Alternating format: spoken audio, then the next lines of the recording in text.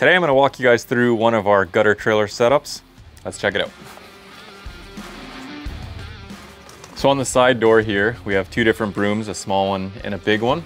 Also a magnet sweeper. We like to have these on the door here. It's really easy to get to them. You can just grab them and go. Makes cleanup a lot easier and a lot faster. On the other door, we hang all of our extension cords and stuff like that would all go on this door. Also just because it's easy to get to. So this trailer is eight, eight and a half feet wide. It's eight feet on the inside. We have a five, six combo machine from New Tech in here. So with this machine, we can run out both the five inch and the six inch gutter. We keep three roller stands in all of our trailers, two here and a spare one in the center there. Also at the front, we always keep our end cap crimper and our seamer along with a hole saw for outlets. The DeWalt fast charger connects directly to the gutter machine. So when we plug in the gutter machine, it charges these batteries as we go. On here, we have a little bit of a shelf for all our different types of caulking. This is the gutter sealant that we use. It's the Geocel 2320 tripolymer sealant. It works really well. Up here, we have colored caulking for siding or windows or doors. This here is black and this is a mix of a whole bunch of different things. All our templates go up here as well, along with some rags and some WD-40. All that'll be in here. Moving on here, we have ladder standoffs. We have three sets of standoffs in every trailer. We also like to keep our small ladders in the trailer. It just keeps them clean, they're easy to get to.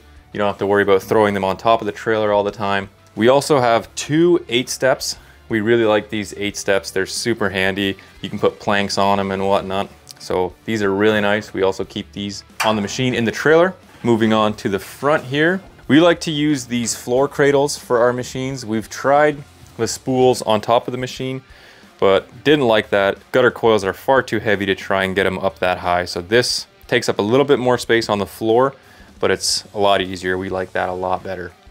Up at the front, we have our light system that we just installed. It runs off of a DeWalt battery, which is nice. So we don't have to have an external battery in the trailer for our lights.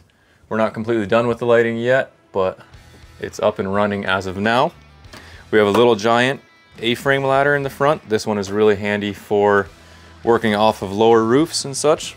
And at the front here, we also have a shelf. This side is just for a bunch of random tools that we don't use too often. So we'll have a bunch of different levels and specialty tools that we don't use too, too often. And on the bottom here is where we keep all our fasteners. We have two different types of fasteners. They're both inch and a half galvanized. One is with a washer, one is without a washer. The washer screw is for the Alu-Rex leaf guards. The non-washer screw is just for your standard hangers. On the other side here, we have all our 5 8 color matched zip screws. They're all labeled and up the front here, along with staples that we use to install our soffit and more staples for house wrap and stuff like that.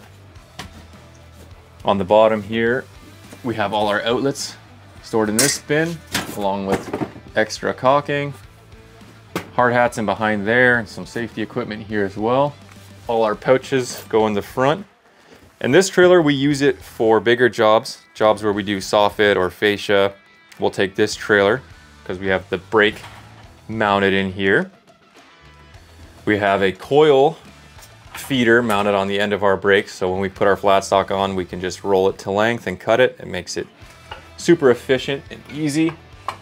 We also have a miter saw in here for cutting soffits. So anytime we do a job with soffit, we'll pull the saw out and set it up outside.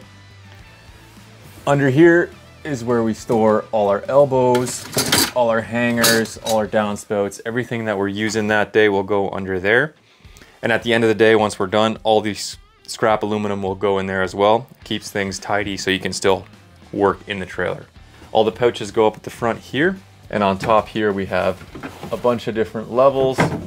Some of these are for sidings and the shorter ones we use to level the gutters. All our impacts will be hanging here. We use a stapler for our soffits this roofing nailer, we'll use it for vinyl siding. We have a tip that goes on there that works for vinyl siding. We really like that. More storage up here for end caps, and pipe straps. We have a laser level that we hardly ever use, but it's there if we need it. A skill saw and a sawzall. We have some touch-up paint in here. Leaf guard corners, more leaf guard corners and pipe straps. We also always like to keep a spare set of ladder gloves in the trailer. Leaf blower, a couple different caulking guns. This one we like for gutters. This one works really well for siding and windows and doors. We always keep two or three blue boxes in our trailers, one with a garbage bag in it for garbage, one for aluminum. Just helps keeps things more tidy. On top, we have a ladder rack. On the top of the trailer, we have three 28 foot ladders and two 32 foot ladders on every trailer. And that is how we run our setup. This would be our bigger trailer for bigger jobs. We don't run this setup for just gutter jobs. This would be for our soffit fascia gutter jobs that we can do everything all out of one trailer. So this is how we run our setup currently. If you guys have any tips or tricks, leave them in the comments below and let us know what you think.